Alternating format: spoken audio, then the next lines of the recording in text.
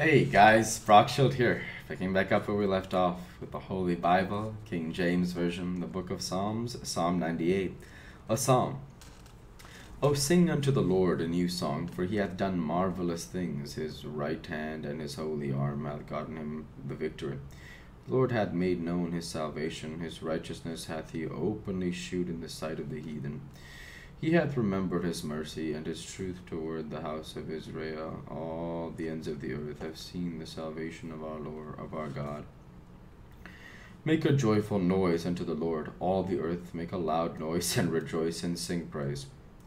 Sing unto the Lord with the harp, with the harp and the voice of a psalm, with trumpets and sound of cornet. Make a joyful noise before the Lord, the King.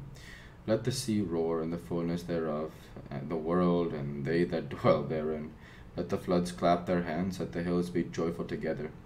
Before the Lord, for he cometh to judge the earth. With righteousness shall he judge the world, and the people with equity.